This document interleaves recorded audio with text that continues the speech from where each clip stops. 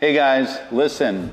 Over deliver, don't over promise. There's so many over promisers in this world. How many of you have had somebody that was either going to invest with you, uh, they're going to call you back, they're going to do this with you, they're going to do that with you? You never hear from them, they ghost you, what have you. Don't be that person. It starts with you, it starts with me, right? We got to make sure that we deliver. Be the one to answer the call. Be the one that makes sure that they're accountable to anything they say. Keep your integrity. Our integrity, that word is almost lost integrity. It shouldn't be. Keep your word, over deliver. Okay? Don't over promise. That, that, that separates people. And, and you definitely want to be on the line of somebody that somebody can count on, somebody that keeps their word.